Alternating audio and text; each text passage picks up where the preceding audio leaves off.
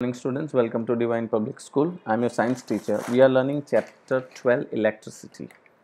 Now we were on question number 4 okay? Here what they are saying is if two conducting wires of same material and equal length and equal diameter length is same diameters are same material is same right?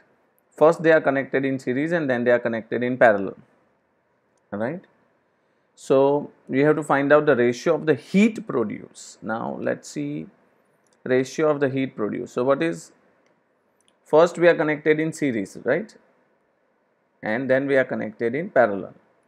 So when you say H is equal to what is H?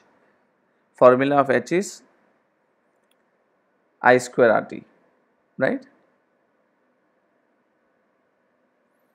heat energy as what I said uh, heat energy right? Heat energy how do we write heat energy?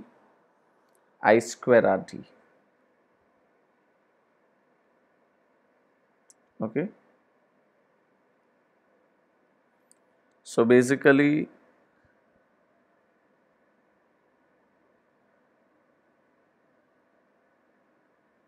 fine but as what you see we cannot write this in series okay? We cannot write this in series or parallel. So we cannot use this formula here.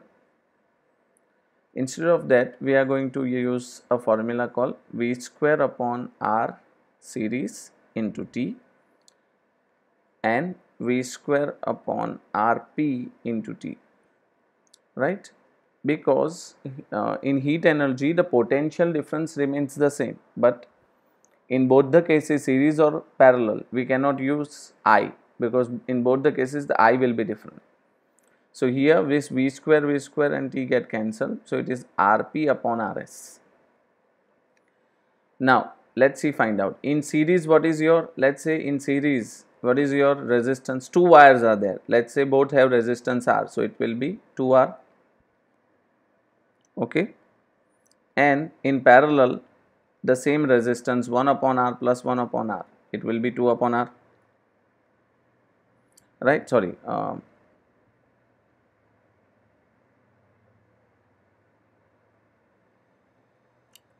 right here this will be 1 upon rp so it is 2 upon r. So rp is equal to r by 2 okay. So when you put this value here this is r upon 2 and this is 2 r. So it will become this r and r get cancelled. So it will become r upon 4 r. So r r get cancelled it will become 1 upon 4 got it? So the answer here is c 1 upon 4 then the next is what does uh, how do you connect voltmeter? Voltmeter is always connected in parallel that you already so the answer to the next question is the voltmeter always connection connected in parallel. Then next is a copper wire has a resist a diameter this. So basically they have given us diameter. Okay. Diameter is 0.5 mm we always convert it into meter so it is 0.000 5 meter. 1 millimeter is 10 raised to minus 3 meter, right. Second thing is they have given us resistivity. What is the length of the wire to make its resistance 10 ohm? So, basically we have to find out lengths. Resistivity is given as 1.6 into 10 raised to minus 8 ohm meter. L we have to find out and resistance is given as 10 ohm.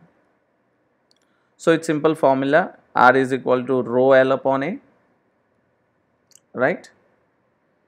We have to find out L it's R into A upon rho right? When you put all this value when you have to put all this value so it's like uh, 10 into area. Now area is pi r square. See area is pi r square right? So pi is 3.14 and r square is r square is 0.0005 by 2 square. See the diameter is given. So, what is radius? d by 2.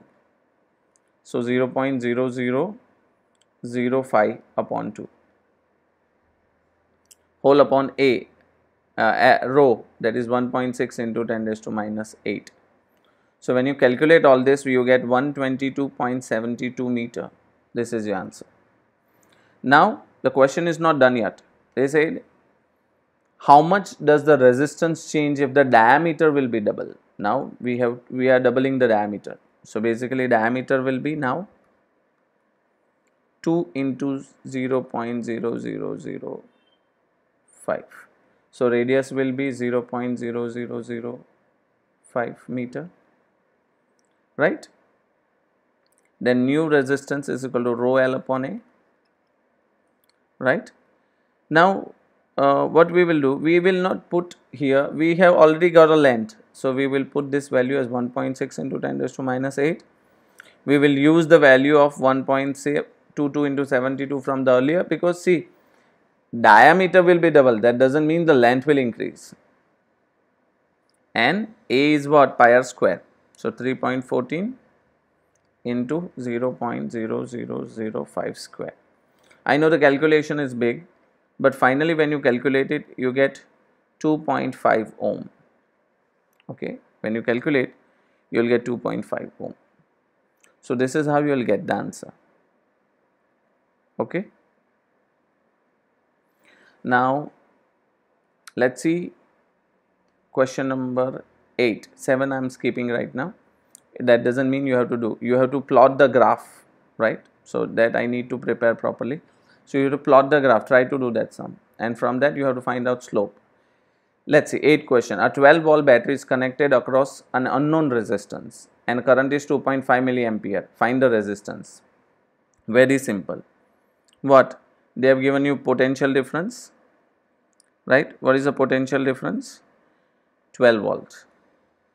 Current is 2.5 milliampere so it is 2.5 into 10 raised to minus 3 ampere. Remember this you have to convert. They are asking you resistance. Then according to Ohm's law, according to Ohm's law, V is equal to IR. So I is R is equal to V upon I. Just put the value. So it's 12 upon 2.5 into 10 raised to minus 3. The answer turns out to be 4.8 into 10 raised to 3 ohm. So it is 4.8 kilo ohm. Kilo why kilo? It's 10 raised to 3. That's why. Okay. So we did till 8. Right. Tomorrow we're going to see next. Till then, thank you so much.